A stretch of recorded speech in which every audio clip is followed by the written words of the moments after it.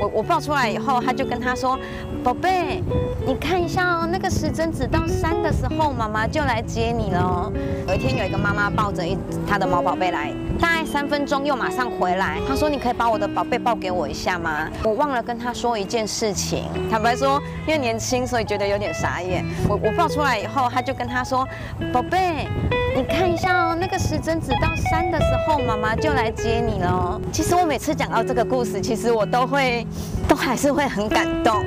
不是只有帮他们洗澡剪毛，我们可以再多为他们做些什么？这是我一直在思考的事情，因为他们不只是宠物，他们是我们的，还有每一个客人的家人。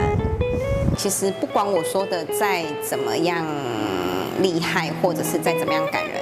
我没有养宠物的人是是没有办法体会的。